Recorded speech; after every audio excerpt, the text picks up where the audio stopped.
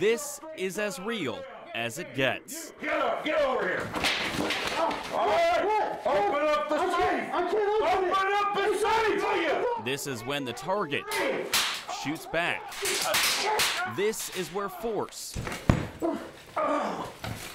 meets force. How many of you have ever been in a gunfight before? Yeah. I mean, you know, none of us. You know, we've never been in a damn gunfight before. Well, when you go through this, you get to experience what it's like to be in a gunfight. It is as close as you can get to the real thing. As close as you can get is even closer for people in the tri state. Hey, get on the ground! Get on the ground! The training, Don't make me kill her! rooted in the woods of the FOP camp in Vanderburgh County, is the brainchild of former Evansville police officer and firearms instructor Guy Minnis.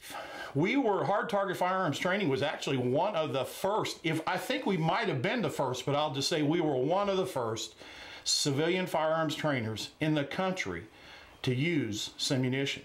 As decorated as he is colorful, Minnis has steered dozens of students through real life scenarios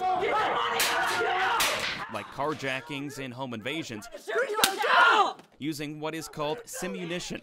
It looks, feels, and sounds exactly like the real thing, providing a showdown between authenticity I want you guys to really, really, really be violent. and intensity. But we'll see students' hands shaking like immediately after. That's just that adrenaline dump that they're getting. Drop the knife!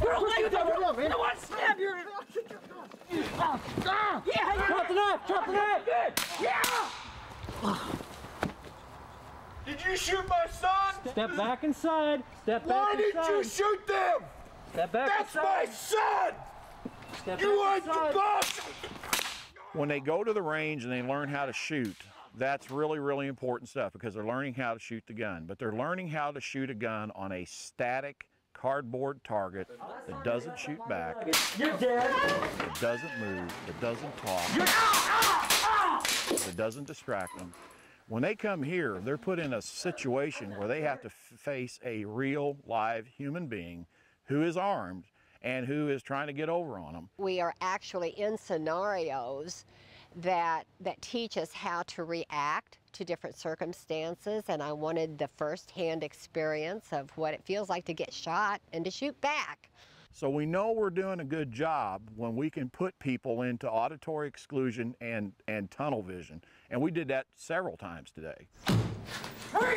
Tunnel vision and auditory exclusion, symptoms of the fight or flight response, only come during high stress. Plainly put, this training is nothing but high stress.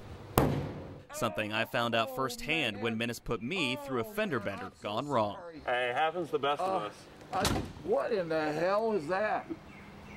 Just for my protection, Jesus Christ! Is that a is that a real gun? it's a BB gun. Uh, okay. You're fine. If you can get a tail light lens for me, I could pay you for the tail light lens. And I'll put it in for you. How's that? I'm, I mean, that's why I pay insurance. I am not going back to jail. I'm, Put the gun down. Put Hey, the gun put down. That BB gun. God. Hey, you said it was a BB gun. You said, I'm not going back to jail. Showed the gun, pulled it out, Where'd the gun come from? right above your crotch. Very good. And it was just pretty much the the, the handle, and pretty much that's about it. You're, you like- actually are doing pretty good for a virgin. I mean, that was your first scenario, and you, he's done pretty good about being accurate about what, what happened. Yeah. So what's it feel like to have somebody pull a gun on you? Uh, it scary to say the least. I mean, uh, I definitely I saw the, the tunnel vision. All I saw was his blue sweater. I don't ever remember seeing your face or uh, the mask or anything like that. But I do remember seeing the gun. Featuring intensity, authenticity, and a little bit of comedy, this training provides students with a feeling of staring down the wrong end of a loaded gun. Now they'll know what to do when the target shoots back.